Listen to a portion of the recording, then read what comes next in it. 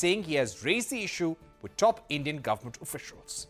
Finally, with regard to India, um, first, this is a, an ongoing legal matter, so you'll understand I can't comment on it in detail. I can say that this is something we take very seriously. Um, a number of us um, have raised this directly with the Indian government uh, in, uh, in past weeks.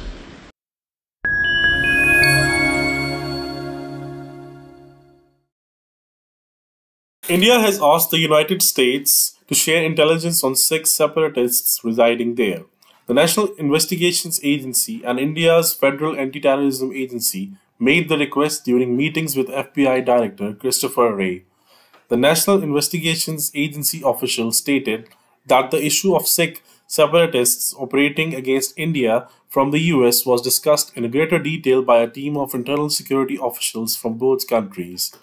The National Investigations Agency requested the US officials to share information on suspected individuals who have, in recent years, been recruited and embedded in the separatist movement.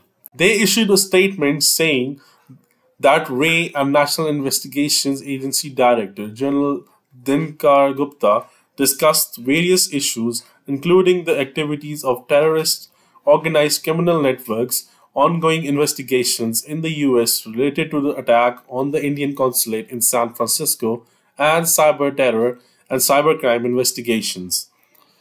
A US embassy spokesperson confirmed ongoing meetings between Wray and Indian officials but could not share details at the moment. The movement for a Sikh homeland in northern India, suppressed decades ago, has gained international attention recently as the US and Canada accused Indian officials of involvement in plots against Sikh separatist leaders in North America.